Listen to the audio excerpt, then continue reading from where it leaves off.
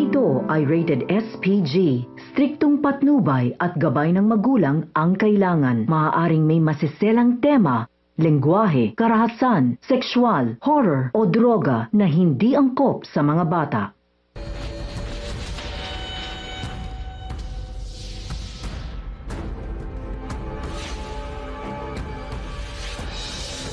Everyone. Thank you for tuning into my show. If you haven't subscribed, please subscribe. And those who have, salama, salama, salama. Happy late Easter to everyone. I hope everyone had a great Easter. And God bless. Walang Hanggang Paalam. Today we start off with we have Celine, her mom, and the general's wife. They're going to go under protective custody because they're investigating the general now. All, all his money, all of his accounts, how he's all the the farms that they were doing the children with, you know, are all under his name. So they're doing an investigation on him. And Arnold, he dies when they're when they're going to get his body, you know, or getting from the hospital. He passes away. Anton's still alive. He had surgery from Amelia, she gives him surgery. She's on the run. The police are looking for her and Anton for the drug syndicate. They're investigating the general, and the general, he's come to the conclusion it's Lester's future, or he has to have his. He's planning to have his wife killed, and Selena and her mom.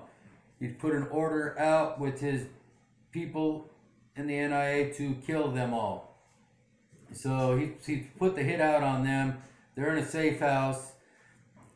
Uh, Emman, he's a police officer now. They they put him in back in the NIA.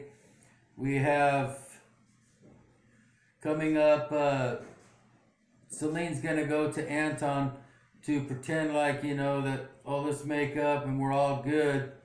And Anton, he's the only reason why he's living is because he wants revenge. He wants to take her out. So he's giving her a hug, and then Emman walks in.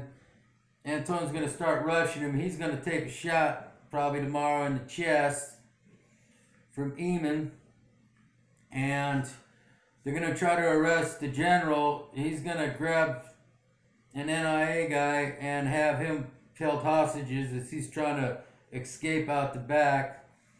So this show's coming to an end. Next week will be the last week. It's a great show. And uh, still waiting for Robbie to pop back up. I mean, he's going to have to pop up sooner or later. So, salamat for tuning in. Everyone, please have a great day. God bless. Stay safe till the coronavirus is gone. See you tomorrow. Have a great day. Bye bye.